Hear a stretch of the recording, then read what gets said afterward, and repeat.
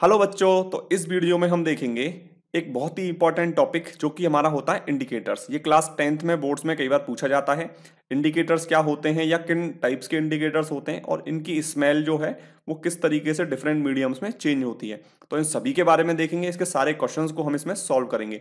तो सबसे पहले है indicators these are the substances which change their colour smell in different types of substances यानी कि इंडिकेटर्स हम उनको बोलते हैं, यानी ऐसे सब्सटेंसेस को इंडिकेटर्स बोलेंगे, जिनका या तो कलर चेंज हो जाता है या स्मेल चेंज हो जाती है डिफरेंट मीडियम्स में। तो सबसे पहले हमारा टाइप्स ऑफ़ इंडिकेटर्स तो कितने टाइप के इंडिकेटर्स हमें मेनली होते हैं? हमारे पास में थ्री टाइप्स के इंडिकेटर्स होते हैं। फ़र्स्ट है हमारा नेचुरल इंडिकेटर सेकंड है हमारा सिंथेटिक इंडिकेटर और थर्ड है हमारा ऑल फैक्ट्री इंडिकेटर्स सबसे पहले हमारा नेचुरल इंडिकेटर्स तो नेचुरल इंडिकेटर्स क्या होते हैं? ये हमारे नेचर में पाए जाते हैं, यानी कि हमें नेचुरल फॉर्म में मिलते हैं। जैसे कि प्लांट्स के थ्रू इनको एक्सट्रैक्ट किया जाता है, इनको हम बोलते हैं नेचुरल इंडिकेटर्स इनके एग्जाम्पल्स हैं। फ़र्स्ट है हमारा लिटमस तो लिटमस क्या है? एक नेचुरल इंडिकेटर का टाइप है। सेकेंड है हमारा रेड कैवेज लीव्स एक्सट्रैक्ट जो हमारी कैवेज होती है, उसकी जो रेड लीव्स होती हैं, उन, उनमें, उनको भी हम नेचुरल इंडिकेटर्स की तरह यूज़ करते हैं तो नेक्स्ट है हमारा flower of hydrangea plant hydrangea plant को भी हम नेचुरल इंडिकेटर्स की तरह यूज़ होता है। नेक्स्ट हमारा टर्मरिक, यानी कि हल्दी, ठीक है? हल्दी भी हमारा किस तरीके से यूज़ होता है? इंडिकेटर की तरह यूज़ होता है।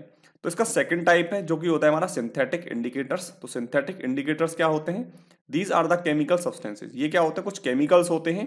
इनको हम बोलते हैं सिंथेटिक इंडिकेटर्स तो इनके एग्ज़ाम्पल देख लेते हैं। हमारा फ़र्स्ट है हमारा मिथाइल ऑरेंज और सेकेंड है हमारा फिनोफेलिन ठीक है? फिनोफेलिन क्या होता है?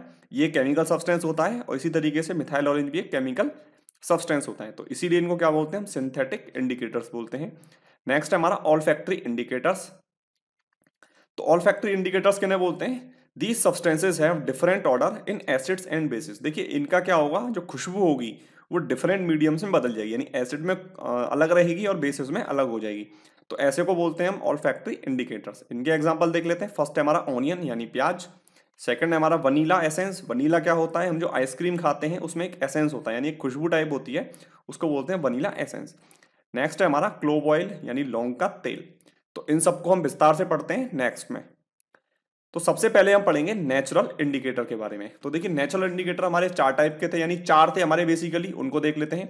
फ़र्स्ट था हमारा लिटमस तो लिटमस जो है, उसको यदि हम एसिडिक सॉल्यूशन के साथ में रखेंगे तो हमारा जो कलर होगा वो कलर हो जाएगा हमारा रेड कैसा कलर हो जाएगा? रेड कलर यानी कि एसिडिक सॉल्यूशन में लिटमस का कलर होगा वो रेड होगा और बेसिक सॉल्यूशन में लिटमस का कलर ब्लू हो जाएगा.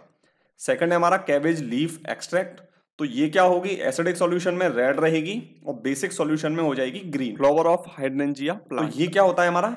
ये जो एसिडिक सॉल्यूशन में ब्लू कलर देगा और बेसिक सॉल्यूशन में हमको पिंक कलर देगा. नेक्स्ट है हमारा हल्दी यानी टर्मरिक जो एसिडिक सॉल्यूशन में हल्दी में कोई चेंज नहीं आएगा यानी ये येलो कलर ही रहेगा। कैसा रहेगा? येलो कलर रहेगा। और रेड में आ, और बेसिक सॉल्यूशन में क्या देगा? ये रेड कलर देगा। देखिए आपने क्या है आप जब स्कूल जाते हैं तो स्कूल में क्या होता है आपकी सफ़ेद शर्ट पे कई बार क्या होता है सब्ज़ी लग जाती है। और जब आप उसको घर आकर के धोते हैं तो वो क्या हो जाता है रेड स्पॉट में चेंज हो जाती है। तो हमारा जो साबुन होता है वो किस सॉल्यूशन वो किस प्रकार का होता है? बेसिक सॉल्यूशन होता है। तो यहाँ पे जो रंग हो जाएगा उसका वो रेड हो जाएगा। तो नेक्स्ट देखते हैं हम सिंथेटिक इंडिकेटर्स के बारे में। तो सिंथेटिक इंडिकेटर क्या होते हैं? यानी कुछ केमिकल्स होते हैं ये।